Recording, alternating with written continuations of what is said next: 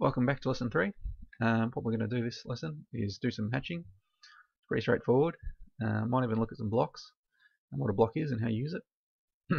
um, first thing we want to do is create a uh, hatch for our brickwork on our wall. Um, now these walls here are open at the moment. You can't hatch something when you've got an opening like this. It needs to be surrounded by um, basically lines. Uh, now whether that's three or more lines, doesn't matter, as long as they all touch each other. So let's create a line. We'll do it from the stud wall to the brick wall. Hit enter, and we'll do the same down here. Space or enter. Okay. So now we've got those all closed up. We can start the hatch command. Um, I usually use bhatch, so bh at the command prompt. Press space or enter. And as you can see, we've up the top here, we've got um, a few different hatches we can choose from. You click the little um, button there, we can scroll down and look see what we've got. And because this is going to be a, a brick wall, we'll stick with ANSI 32. So I'll select that. Um, here we need to set our scale. Uh, in this drawing it's already been set to 400 which is quite good. Um, seems to be working for us. So as you can see when I highlight the mouse over different um, regions that the hatch shows up so we know what, what it's going to look like and whereabouts it's going to be laid out. So to place it, just left click and you can do this with multiple um, boundaries if you like. We can do it separate ones. Um, I'm going to do them all in one go. Hit uh, space or enter and we're out of command and that's basically our hatch.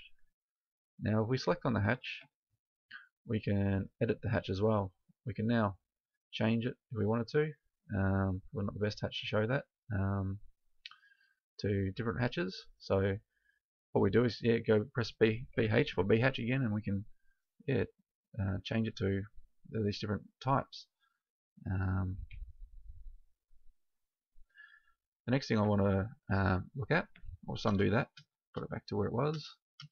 There we go is uh, blocks. Now block is something that you will generally draw um, once and insert into your drawings again and again and again.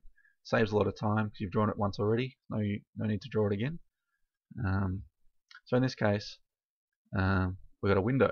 So these are all currently uh, separate lines and polylines, and we could drag and drop those. Um, but if we started a fresh drawing, we'd have to draw it all again from scratch or copy and paste it from another drawing. Uh, to get around that, we can create a block. So to do that, um, type B for block and a window comes up. Now it wants a name for the block so we'll just call it window uh, 600 millimeters. And it asks us to, for a base point. So um, so we'll pick a point. So how about the bottom corner here? That's where we want the point to be from. Asks us to select our objects. So we'll select the polylines of the frame and the other lines that make up the window in the frame. Press enter or space, go back to the window, and we're in millimeters, so we can say OK. And we've now created a block. Now, to reuse that block, we, we want to insert it, so we type I, space or enter, and it's the only block we've got in there, so we select that, um, specify on the screen. That allows us, once we press OK, to click a place on the uh, um, the drawing where we want to insert that window. So we'll click OK and we'll just place it here for now. And if I select it, you can see that it's just got one blue grip. Um, uh, usually by default that is. Uh, we can turn on all the grips. We'll look at that in a second. Um, but as you can see, it is one contained object. And uh, if you did want to make alterations to it, uh, one thing you can do is explode the block. So type X for explode. Asks us to select the, uh, the object, so we'll select the window. And now it's now exploded. You see we can click on those individual lines again. And we'll just undo that. U for undo. Okay. Now, sometimes that insertion point's um, not always the best place we want it. Um, we might want to mirror it around so we select it to make it a hot grip so it's red again look at um, what's happening down here in the command uh, prompt. Press space, space, space, and space until we get to mirror. And if I move the uh, mouse to the left there, you can see that it's going to mirror around. So now mirrored the, um, the block. You can select it, hot grip again, press space to put it into the move command, and click there. So on our wall now we've created uh, another window.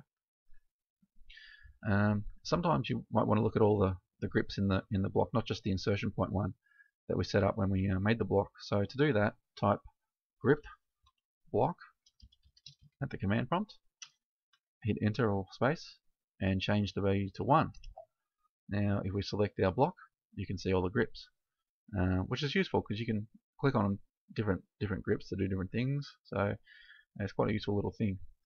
Um, blocks can be useful for many things, uh, not just windows, but um, you know, furniture and uh, sinks and things like that. Um, it's probably more suited to those sort of things, I, I would think, um, as a plain block. Uh, another thing we can do is create what's called a dynamic block, um, which allows us to stretch the, the window. So to do that, um, select the block and right click and go to block editor in the in the menu that pops up. Now this is um, where we can start doing the dynamic block stuff. Um, so we'll get straight into it. We've got a few different things over here. You should have a, a little toolbar that's come up here or a tool palette. Um, so we want to be able to stretch the uh, the window in a linear way. Um, so we'll select linear uh, as a part of our, our very first thing we do is, is under parameters. So linear, and this is for insertion point, and this is for endpoint. So we'll just do that for the window. And as you can see here, we've got these two arrows. Um, we only want one, so select on the distance, right click, and uh, where is it? Nope, not there. Where is it gone?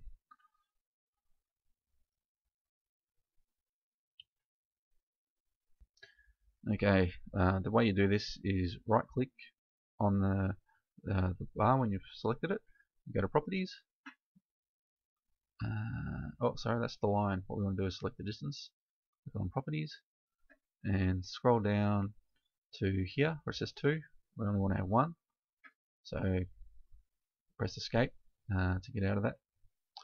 Okay, so we can close the property window now. And next thing we want to do is we want to action, make something happen when we when we move this uh, this arrow.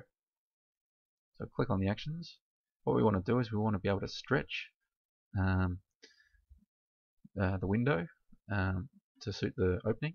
So click on stretch and ask us to select the parameter. That's the parameter we put in, so distance.